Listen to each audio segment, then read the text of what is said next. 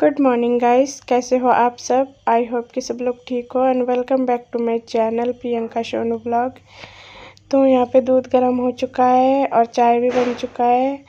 तो सुबह नहा के पूजा कर लिया है मैंने। उसके बाद आ गई हूँ किचन में दूध गर्म हो गया है, चाय भी बना लिया है और यहाँ पे लाए थे मूढ़ी तो उसको मैं थोड़ा सा गर्म कर रही हूँ क्योंकि ठंडी मूढ़ी अच्छी नहीं लगती। इसको थोड़ा सा कढ़ाई में गर्म कर लेती हूँ खाने के टाइम तो एकदम ताज़ी लगती है।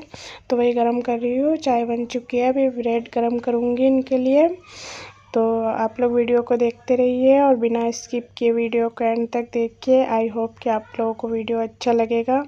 और वीडियो अच्छा लगे तो लाइक, कमेंट, शेयर कर दीजिए। चैनल को सब्सक्राइब कर दीजिए और वीडियो को एंड तक देखिए। चलिए साथ में रहिए और वीडियो को देखते रहिए।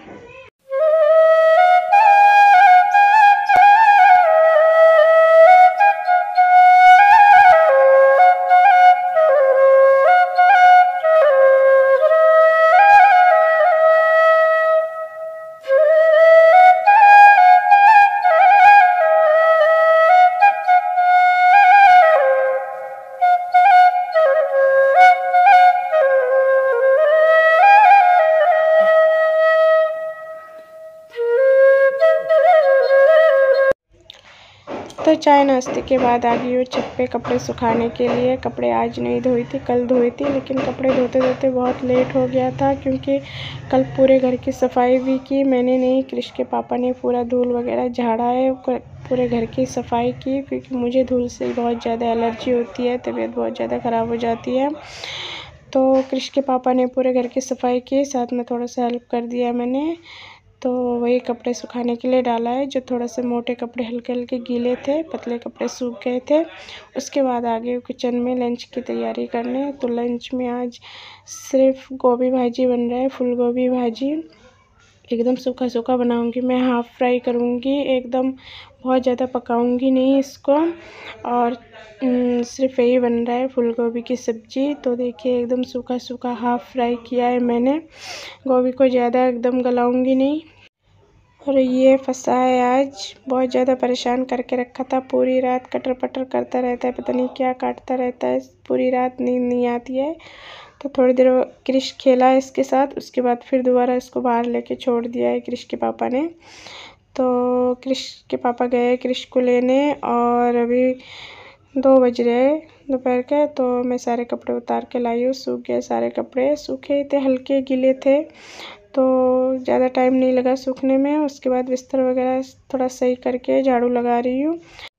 तब तक क्रिश के पापा और क्रिश आ जाएँगे। उसके बाद हम लोग लंच करेंगे। तो लंच में फूल गोभी बनाए और चिकन रखा था रात का और थोड़ा सा पपीता भाजी रखा हुआ था। ये देखिए फूल गोभी की सब्ज़ी एकदम हाफ़ फ्राई में है और चावल है इसमें और फ्रिज में रखा है। कल रात को चिकन बनाया था। वही चिकन रखा है फ्रिज में। तो वही चिकन निकाल लूँगी। ये देखिए और पपीता भाजी रखा है। पपीते भाजी से क्रिश खाएगा क्योंकि वो चिकन का रसा वगैरह नहीं खाएगा उसको मिर्ची लगता है तो ये पपीता भाजी से क्रिश खाएगा। और फूलगोभी भाजी से और यहाँ पे आए जो नींबू। तो क्रिश आ चुका है स्कूल से उसके पापा मोबाइल चला रहे हैं और क्रिश आके यहाँ पे गाना गा रहा है और नाच रहा है और मैं हैंड वॉश करके आओ उसके खाना खाओ। मैं नहीं खाएगा साला है जाओ फटाफट क्या?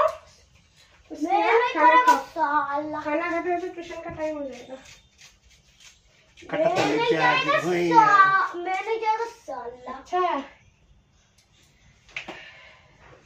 कपड़ा पहन के स्कूल जा तो आइए गाइस आप लोग भी लंच कर लीजिए हमारे साथ। और क्रिश यहाँ पे थोड़ा सा फिल्मी डायलॉग बोल रहा था, वो कभी कभी ऐसे हरकतें करता है। तो बच्चा है तो डोंट माइंड आप लोग कुछ सोचिए मत। बच्चे कभी कभी ऐसी उल्टी सीधी हरकतें कर देते हैं और कैमरे के सामने कुछ ज़्यादा ही करते हैं हरकतें। तो वो कभी कभी ऐसे बोल देता है फिल्मी डायलॉग बोलता रहता है मोबाइल में देख के, टीवी में देख के। तो चलिए गाइस आइए आप लोग भी लंच कर लीजिए। उसके बाद शाम को मिलते हैं। तो अभी मुझे आप लोग बहुत टाइम के बाद देख रहे हो, लगभग सात या साढ़े सात बजे के करीब हो रहा है। तो अभी सारे कपड़े तय कर रही हूँ, तय करके रखूँगी अपनी जगह पे।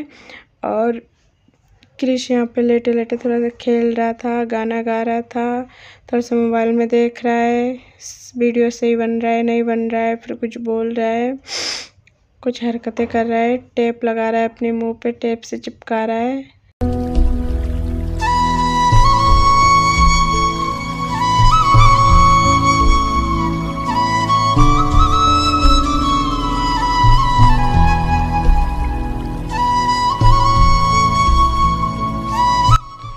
तो चलिए गाइस इस वीडियो को यहीं पे एंड करते हैं। मिलते हैं और एक नए वीडियो के साथ। तब तक के लिए बाय सब लोग खुश रहिए हैप्पी रहिए। एंड गॉड ब्लेस एवरीवन और आगे आप लोगों को क्रिश गाना गाता हुआ देखेगा। माता रानी का भजन।